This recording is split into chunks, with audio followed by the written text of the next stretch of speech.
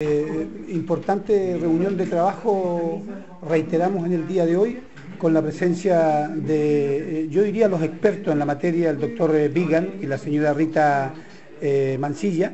quienes le entregaron un completo informe a, los grupos que se han conformado en esta oportunidad a partir de la presencia de los directores de los colegios y, los funcionarios municipales en todas sus áreas eh, que se han conformado en equipo para actuar en terreno eh, como ya se ha venido haciendo. A partir de hoy eh, se inicia una gran embajada de acción en todos los sectores de la Comuna Corral a partir del sector de Corral Bajo. la acción va a ir en tres frentes. Una, información a la comunidad. Dos, orientación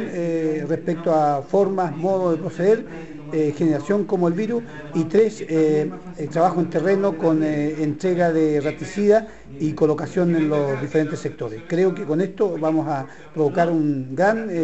el movimiento de acción no solamente a nivel del municipio, sino que también a través de la comunidad en general, porque sabemos que ya el Hospital de Corral está trabajando desde varios días eh, también en terreno y las escuelas importantes se suman a este gran trabajo con el compromiso de los directores que ya también se van con tareas eh, precisas para trabajar con sus alumnos y luego con, eh, con sus apoderados. A ver, ya nosotros iniciamos el programa que se acordó en el Comité Comunal de Emergencia eh, entre la comunidad, los técnicos y nosotros los especialistas de, la municipalidad en el área de protección civil.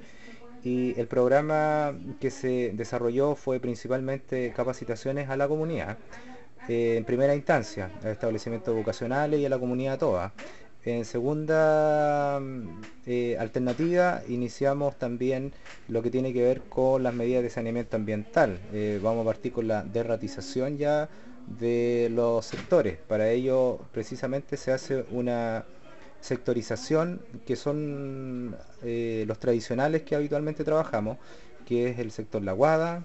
Corral Alto, Corral Bajo, Cerro La Marina, Amargos y San Carlos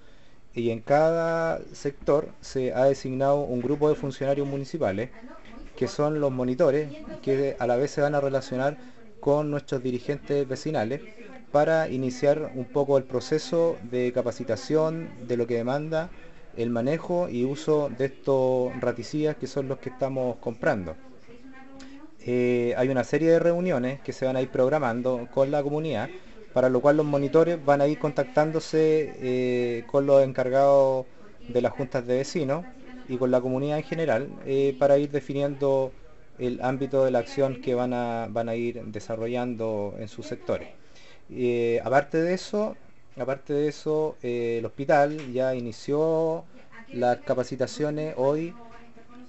a la comunidad escolar, para lo cual los profesionales del hospital también están trabajando en comisiones, ellos desarrollaron los módulos que se les está entregando y van a parte con la intervención en los sectores eh, educacionales.